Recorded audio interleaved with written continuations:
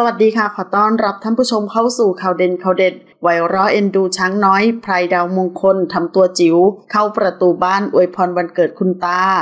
กลายเป็นไวรัลสุดน่าเอ็นดู เรียกรอยยิ้มจากโลกโซเชียล เมื่อ account TikTok รายหนึ่งเผยภาพนาทีความน่ารักของเจ้าช้างน้อย พลายดาวมงคลที่พยายามทำตัวหดจิ๋วย่อตัวเข้าประตูบ้านท่ามกลางเสียงเชียร์ส่งกำลังใจของสมาชิกในบ้านว่า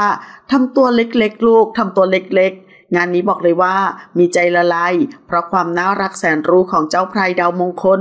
ย่อตัวจนเข้ามาได้ พร้อมเสียงชื่นชมสุดเอ็นดูจากคนในบ้านว่า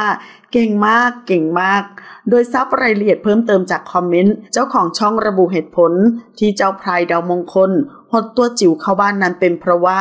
มีการจัดงานวันเกิดคุณตา จะพาน้องเข้าบ้านให้เป็นสิริมงคลกับบ้านค่ะตามความเชื่อโบราณว่า ช้างถือเป็นสัญลักษณ์ของสติปัญญา ความฉลาดหลักแหลม และโชคลาภวาสนา หากช้างเข้าบ้านจะถือว่าเป็นสิริมงคล ส่งผลให้บ้านที่อยู่นั้นร่ำรวย ผู้คนในครอบครัวสมาชิกในบ้านอยู่เย็นเป็นสุข ซึ่งก็มีหลายคนเข้ามาแสดงความคิดเห็นว่า น้ำเสียงทุกคนเอ็นดูน้องมากตัวเล็กตัวน้อย คอมเมนต์ถัดมาบอกว่าน่ารักมากเลยพี่ดาว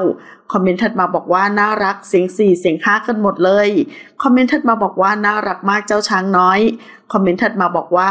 ช้างเข้ามาในตัวบ้านถือว่าเป็นสิริมงคลอย่างยิ่งค่ะ ร่ำรวยอยู่เย็นเป็นสุขนะคะ ขอขอบคุณข้อมูลจากข่าวสดขอบคุณค่ะ